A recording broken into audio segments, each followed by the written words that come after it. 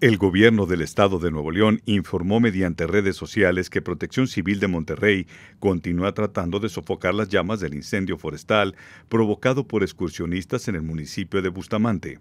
El incendio fue provocado el pasado domingo en la zona conocida como la Sierra de Gomas, donde el siniestro ya consumió más de 20 hectáreas. En tanto, más de 30 socorristas forestales en coordinación con Protección Civil Nuevo León llevan a cabo estrictas labores para tratar de sofocar las llamas lo antes posible.